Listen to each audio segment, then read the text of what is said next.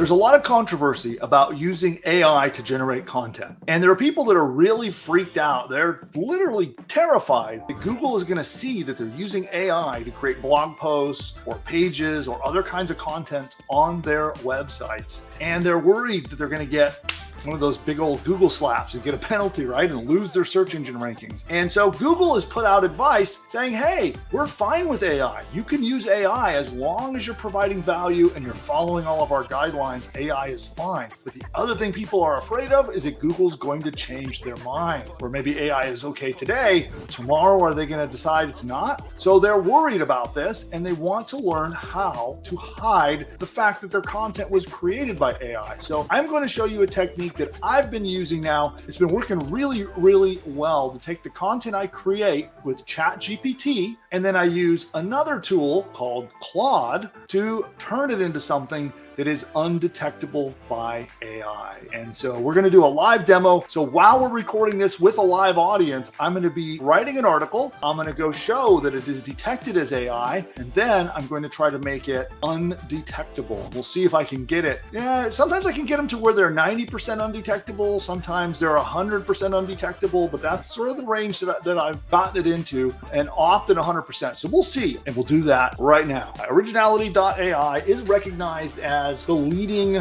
provider of AI detection tools being used in schools to detect plagiarism from the students. It's being used in a lot of different companies. And uh, so we're going to use originality.ai to run our tests today. First up, what we're going to do is we're going to write a blog post. All right, so let's go over to ChatGPT, go to the regular GTP4 default. Let's go with reverse mortgages. So we're going to start out and we're going to say, please write me um, an outline for a blog, a extremely helpful blog article about reverse mortgages.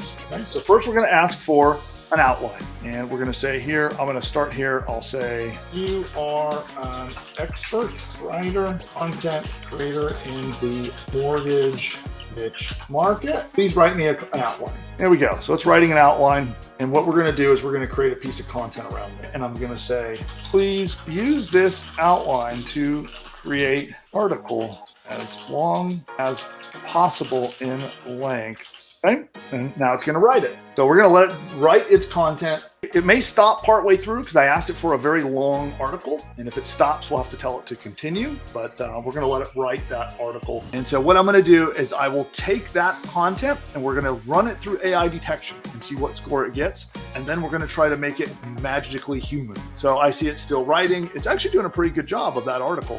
What I'm doing here in the prompt that I'm about to use, I'm to explain a little bit of backstory about how this works while we let ChatGPT do its writing. But what we're doing here is there are a lot of characteristics of human writing that are not native.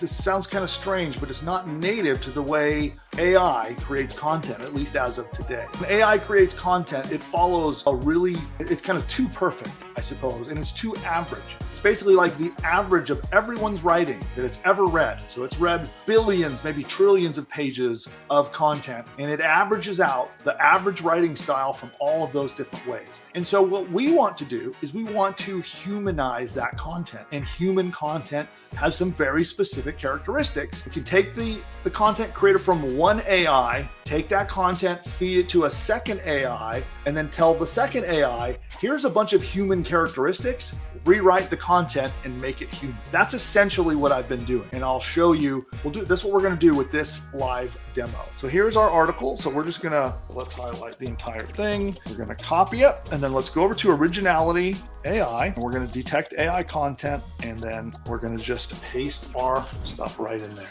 And then let's call this reverse mortgage test. And we're gonna hit scan now. So it's doing its thing, it's scanning. We can see here we have 558 words of content. And one of the things that does happen when I humanize it is the content tends to get a little bit shorter. If you were writing a, a, an article that you might want to post on your site, you might use an article that's a bit longer than this, than 558 words. Hey, look at that 100% AI. Hey, props for um, originality.ai. They detected it, which I expected them to. They've gotten pretty good at detecting uh, content from ChatGPT. So now you know that if they can detect it, Google can detect it, right?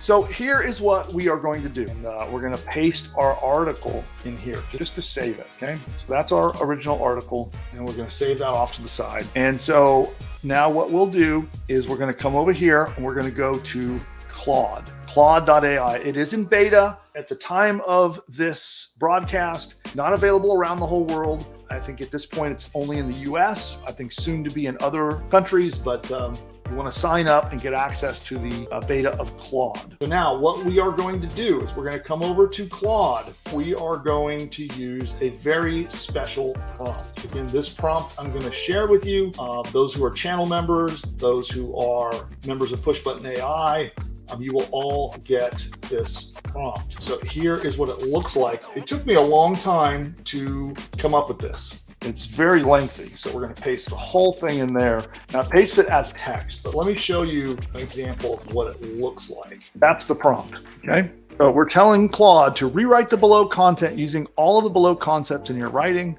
We're telling it there, there's uh, several sets of instructions. This is quite a lengthy prompt, but basically we have identified all of the characteristics of human writing. We were telling it to vary things. We're telling it, yeah, we're telling it to be more human. And again, we're talking about the grammar that it might use. An AI does not use grammar like a human does. It doesn't do things like foreshadowing, like giving a hint of something to come. It doesn't use symbolism. It doesn't use irony. It doesn't give metaphors. It doesn't hype things up and exaggerate them. Use vivid sensory details in your imagery. So AI doesn't tend to do that. Grammar, syntax. Anyway, there's a lot, lot of stuff in here. So this is a very gigantic prompt. I will share it with all channel members and all push button AI customers. We have one gigantic prompt. We're going to submit it. Here it goes. Now I noticed today Claude is doing something a little different than uh, last week. When I pasted this prompt in before, I could see it in the little text box here. I could see the entire thing. But what it did is it transformed it into a little text file. So I'm not sure what's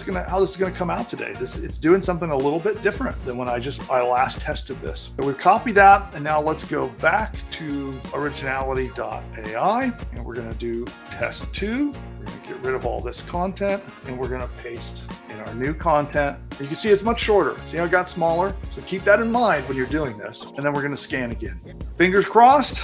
Drum roll, please. There we go. Look at that. 100% human. I was a little worried there for a minute because Claude was behaving a little differently than it did for me, like it has been for me normally. But as you just saw, we took a piece of content that was 100% written by AI. We followed that simple procedure and then we put it into originality.ai and boom, so uh, there you go. That is how, if you're a member, if you're a customer of Push Button AI, I will share that exact prompt. It is very large. It's very difficult to describe the whole thing in detail. So for those of you who are not channel members and not a customer of Push Button AI, really we spent a lot of time doing a lot of research. I've looked at a bunch of other prompts that other people are, have used you know that maybe there are different previous things that people have done that are not as effective today. I analyzed those and just made a big list of all the characteristics of human content. And i asked chatgpt what are other examples of human content? And then chatgpt gave me a bunch more right so i put that together in a big old massive list of descriptions of what human content looks like and how it's different than AI content. And then that's what I based my prompt on. So I then go to Claude and tell Claude, write content following all of those guidelines. That's what worked here. And that's how we have bypassed and tricked the AI detectors. Okay. Now, one thing I want to give you a warning don't do this so that you can like plagiarize stuff if you're a student, please don't do this to get a pass and get a paper submitted. Um, that's not the intention here. We're not trying to fool anybody. We're not trying to get away with something unethical. This is for people that are maybe just a little bit worried that they might get slapped from Google for using AI content in their blog. That's it. If you're using AI content to create like private members area content, like courses or ebooks or things like that, you don't need this. It's totally unnecessary. But for those who want to use it for public facing content that you want to rank in the search engines, that's specifically where this technique comes in handy. If you're not yet a member of Push Button AI, then what are you doing? So I would like to invite you to a free masterclass. We're going to be covering in detail how to create an entire digital online course, an entire business, in fact, that can be set up 100% using AI. And if you'd like to attend that free masterclass, what you're going to want to do is head over right now to pushbutton.ai slash free class. In that class, I'm going to show you how we can help two different kinds of people. Number one, if you've got a business and you want to add training, courses, or information to your existing business as a new profit center, or maybe a way to add value to your customers, then I'm going to show you how to do a detailed 10 module training course, including 50 to 60,000 words of content. Have it set up and built for you by AI. Also, if you're trying to start your first business online and you're looking for a great business model to make some money online, then Pushbutton AI is the right solution. And I'll show you how you can use this amazing tool to build an entire business like that. In a snap, Pushbutton AI will build an entire course for you, create video training, audio training, write your sales page for you, write 30 days of emails for you, create your logo, build your website, set up your shopping cart, set the entire thing up, create a members area so that people can pay you to get access to the course and you get to charge money and keep all the profits. It's quite easy. You answer two questions and you hit a button, and it literally does everything for you a logo, a 30 day email sequence, your sales pages for selling your product. It creates the entire training course that you can charge money for. It installs your website, sets up your hosting, launches your site. It even helps you pick the perfect domain name, all powered by AI. You just literally log in and start up your brand new business. So attend the free masterclass. I'll show you a live demo of how it works. I'll explain the entire business model so you can see exactly how does it work and how do you profit. That's pushbutton.ai slash free class. Don't forget, hit the subscribe button. You'll see it down below the video down there somewhere. Hit subscribe, hit the like button. It actually we'll make sure that you're notified next time that we go live. We release content all throughout the week, by the way. So we have videos on additional strategies and tactics we'll be dropping to you all week long check out all of our useful content. Head over to pushbutton.ai slash free class if you're not yet a customer. Every paying customer, we're going to be taking today's training. We'll take all the prompts, all the resources, everything that you need to use it, and we're going to put it in your paid members area. So you'll see it in your AI profits course inside your members area. On that note, I'll see you there. Bye for now.